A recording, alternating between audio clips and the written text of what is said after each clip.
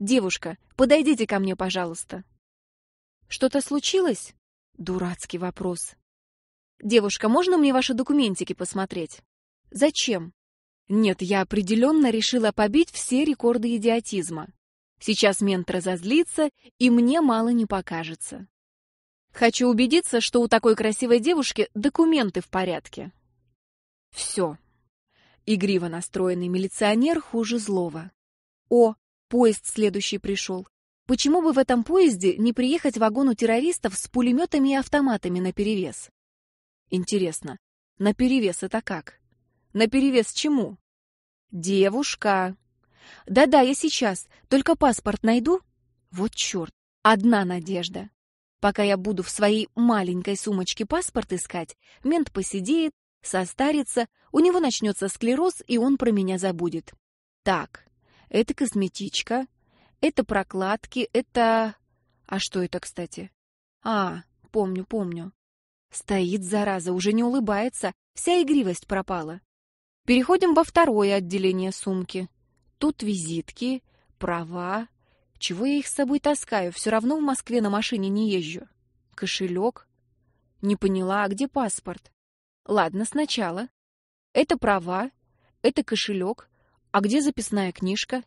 Если рассуждать логично, то вряд ли из сумки стащили паспорт и записную книжку, а кошелек оставили. Но это если логично. А как можно рассуждать логично, если над душой стоит этот придурок? Знаете, я, кажется, забыла паспорт дома. Придется пройти в отделение для выяснения личности. Ой, а давайте я лучше домой пойду. Поздно уже. Вот выясним все и пойдете. Вот гад. Еще один поезд. Ну, хоть бы какой захудалый челнок с сумкой размером с вагон метро. Зажрались они тут в Москве. У нас дома каждый второй с такой сумкой ходит. Молодой человек, простите, товарищ милиционер, я вас умоляю, отпустите меня домой. Я целый день на выставке отработала. Я есть хочу. Главное — улыбаться пожалостливее. Это легко получится. Я действительно очень голодная.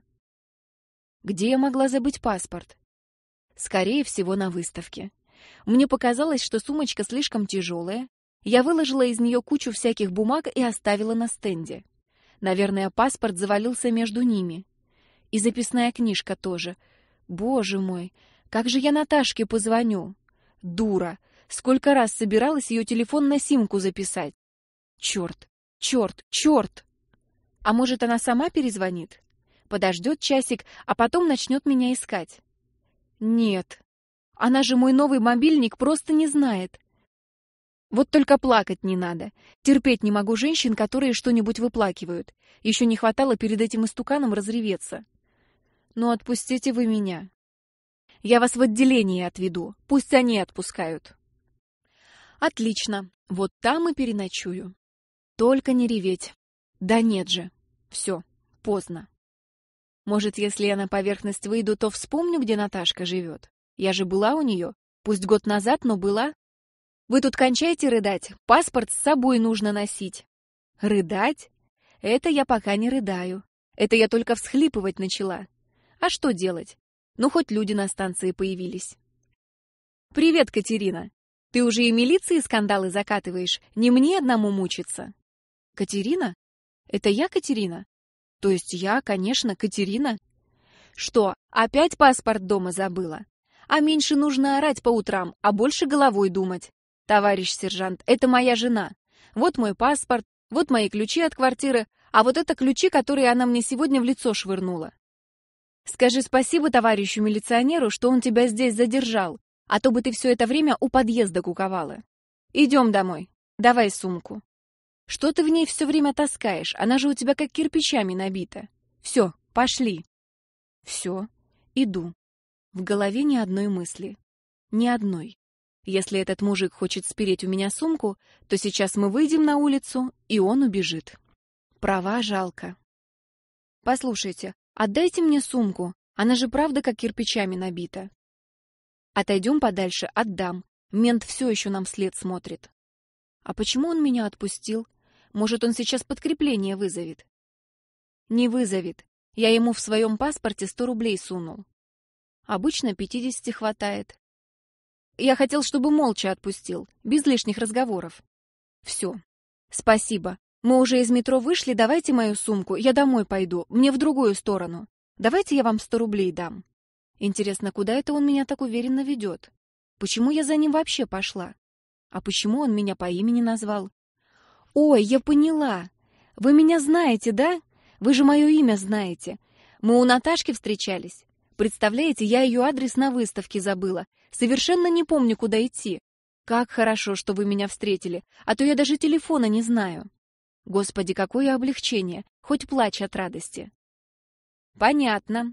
Переночуешь у меня, а утром с твоими делами разберемся. Почему у тебя? У вас. Мне на работу утром. Значит, вечером приедешь, вечером разберемся. Но я... Но мне... Я не могу. Мне позвонить надо, меня ждут. Просто цицерон в юбке. Само красноречие. Странная женская особенность. Как только рядом появляется человек, который за тебя думает, собственный мозг отключается. Я даже не могу сообразить, в какую сторону от метро мы пошли. Куда я иду? Зачем? Этот тип убьет меня где-нибудь в подворотне, а я потом даже не смогу объяснить, где это произошло. Почему он меня не отведет к Наташке? Может, с ней случилось что? Меня Сергеем зовут, а тебя? Как это «а тебя»? Он же меня знает. Или нет? Или с кем-то спутал? Катя? В смысле Катерина Ивановна? Никакой реакции. Аферист или маньяк? А если маньяк, зачем представляется? Да не собираюсь я тебя убивать. На, возьми платок, вытри правый глаз. У тебя тушь размазалась. Правый глаз с другой стороны. С другой стороны чего? С другой стороны носа. Ты левый вытираешь. Все он знает. Где правый глаз, знает. И что тушь размазывается, знает. Значит так, запоминай мой адрес. Нет, не запоминай, я тебе на бумажке напишу и в пяти экземплярах в сумке разложу по разным местам. Может, один, случайно, не потеряется. Ну вот, слава богу, ты улыбаться умеешь. А то я подумал, так и будешь скорбеть вечно. Все, расслабься. Неприятности закончились. Этаж хотя бы запомни. Девятнадцатый. Что ты знаешь про цифру девятнадцать? Это не цифра, а число. Какая радость! Ты начинаешь что-то соображать. Девятнадцатый этаж. Никаких ассоциаций. Запомнить невозможно. Господи, что я делаю? Куда меня несет? Убийство в лифте. Так просто, что даже не страшно. Но хоть мужика рассмотреть, а то он меня убьет, а я его потом не опознаю. Обычный мужчина. По закону жанра должен быть жгучий брюнет ростом не меньше 188. По закону жанра я должна сейчас испытывать страстное желание и погибнуть в неравной борьбе с ним а я ничего не испытываю. Может, я фригидная? Конечно, хорошо испытывать желание, когда ты красивая, уверенная в себе блондинка с талией 60 сантиметров. А когда тушь потекла, когда нос красный и жрать хочется, вот умоюсь, причешусь, поем, и тогда посмотрю на него еще раз. Хотя куда мне есть? Если даже совершенно незнакомый мужик не пытается ко мне пристать, значит точно килограмма три сбросить нужно. Настроение у меня с самого утра было хорошее. Правильное слово «настроение». Оно происходит от «настроить», «настраиваться». Вот настроился с утра на положительные эмоции, и все пошло как по маслу. Началось с того, что директор, придя на работу, обнаружил меня на боевом посту. Я листал принесенную вчера рукопись с таким утомленным видом, что издалека было видно. Человек с рассвета трудится. На самом деле 12 с половиной минут. Повертев носом, директор поинтересовался, готовы ли обложки. Узнал, что в ближайшее время я новых книг в производство сдавать не собираюсь, буркнул. Завалили работу в компьютерном отделе. И скрылся в кабинете. Я тут же показал директорской спине язык, чем заслужил заливистый смех Кати. Катя была младшим редактором и, следовательно, моим подчиненным, но хохотала не из-под халимажа, от стремительности юной души. До ухода директора по очередным таинственным «делам» я успел отклонить две рукописи, заинтересоваться одной, написать пять писем авторам, которые уже полтора года находились в бегах, и посетить сайт анекдот.ру. Затем, дождавшись, пока рокот начальственной Митсубиши затихнет за поворотом, объявил второму младшему редактору Рите, что должен съездить на выставку, а потом проведать кое-кого из потенциальных инвесторов. -а сказала Рита и внимательно посмотрела на воротничок моей рубашки. Когда-то я опрометчиво явился в издательство с помадой на воротнике, и с тех пор ехидные коллеги женского пола при каждой моей отлучке интересовались состоянием этой почти интимной части одежды.